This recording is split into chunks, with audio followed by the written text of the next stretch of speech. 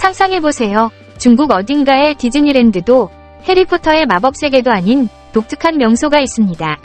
그곳은 바로 10만 마리 이상의 악어가 사는 거대한 농장입니다. 네, 정말입니다. 여기서 악어들은 단순히 물가에 앉아 햇볕을 쬐며 시간을 보내는 게 아닙니다.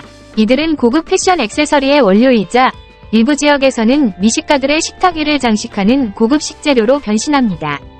이 농장은 악어 왕국이라고도 불립니다. 여기서 악어들은 각자의 개성을 가지고 있어요. 예를 들어 빅마우스는 그 이름처럼 정말 입이 큽니다. 패션쇼에 나가면 모델보다 더 많은 주목을 받을 거예요. 그리고 슬립스키는 그 매끄러운 피부로 유명해서 명품 가방 브랜드에서 눈독을 들이고 있죠. 하지만 여기서 생활하는 악어들은 단순히 상품이 아닙니다. 그들에게는 자신만의 social life가 있어요. 예를 들어 일주일에 한 번씩 악어 social club 모임이 있는데 여기서는 최신 유행하는 물속 요가나 진흙 스파를 즐깁니다. 물론 악어들 사이에는 인기 있는 이벤트죠. 이 악어 농장의 주인은 이 모든 것을 지속 가능한 패션과 미식의 조화 라고 설명합니다. 그는 악어들이 고급스러운 생활을 하며 성장하고 그들의 희생이 높은 가치의 제품으로 탄생하게 된다고 말합니다. 물론 이 모든 것이 환경에 미치는 영향도 깊이 고민하며 악어가 주는 모든 것을 최대한 존중하려고 노력한다고 합니다.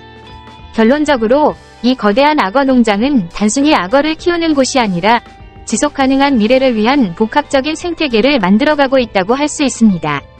그리고 누가 알겠습니까? 언젠가 여러분도 이곳을 방문해서 직접 그 매력을 체험할 수 있을지도 모릅니다. 단, 방문할 때는 반드시 안전수칙을 지키세요. 왜냐하면 여러분이 악어의 저녁 식사가 되는 건 원하지 않으니까요. 어느 날, 한 방문객이 불의의 사고로 악어들이 있는 연못에 빠지게 되었습니다. 이야기가 퍼지면서 많은 사람들이 그의 운명을 걱정했죠. 하지만 놀랍게도 그는 무사히 생존했으며 그 비밀은 바로 악어들이 모두 깊은 잠에 빠져 있었기 때문입니다. 중국의 악어 농장 이야기에서 벗어나 놀랍게도 또 다른 도전에 직면해 있는데 그것은 바로 600만 마리 이상의 야생 돼지 문제입니다. 이 야생 돼지들은 빠른 번식력으로 인해 숫자가 급격히 증가하고 있으며 이로 인해 농민들의 풍요로운 농작물에 심각한 피해를 주고 있습니다. 이들은 밭을 휘젓고 작물을 파괴하며 수백만 달러의 경제적 손실을 매년 초래하고 있습니다. 야생 돼지의 이러한 빠른 번식과 파괴적인 행동은 중국의 농촌 지역에서 큰 문제로 대두되었습니다. 이 문제를 해결하기 위해 여러 가지 방안이 모색되고 있으나 쉽지 않은 상황입니다. 야생돼지는 매우 영리하고 적응력이 뛰어나 일반적인 방법으로는 그 수를 통제하기 어렵습니다.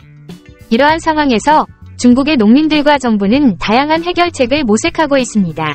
예를 들어 일부 지역에서는 야생 돼지를 포획하여 그 수를 줄이려는 시도가 이루어지고 있으며 농작물을 보호하기 위한 울타리 설치와 같은 예방 조치를 취하고 있습니다. 또한 생태계에 미치는 영향을 최소화하면서 야생 돼지의 수를 관리할 수 있는 지속 가능한 방법을 연구하는 과학자들도 있습니다. 이러한 상황에 직면하여 중국 정부는 전문 사냥꾼들에게 야생 돼지 인구를 조절하기 위해 자유롭게 사냥할 수 있는 권한을 부여하기로 결정했습니다. 이러한 사냥꾼들은 효과적인 사냥 기술과 방법을 사용하여 야생 돼지 수를 줄이는 데 중요한 역할을 했으며 이로 인해 농장과 농촌 커뮤니티에 대한 경제적 손실을 줄일 수 있었습니다. 하지만 이러한 성공에도 불구하고 야생 돼지 수가 급격히 감소함에 따라 새로운 우려가 제기되었습니다. 야생 돼지가 멸종 위기에 처할 수 있다는 점입니다. 인구가 크게 줄어든 것은 생물 다양성과 야생 돼지가 중요한 역할을 하는 생태계의 균형에 대한 우려를 증가시켰습니다.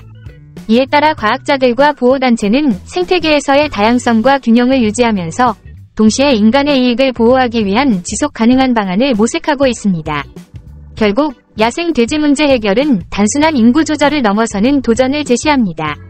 이는 인간과 자연이 어떻게 공존할 수 있는지, 그리고 우리가 자연을 어떻게 지속 가능한 방식으로 관리하고 보호할 수 있는지에 대한 더 큰 질문을 던지고 있습니다. 이 문제를 해결하기 위해서는 지속적인 노력과 혁신적인 접근 방법이 필요합니다.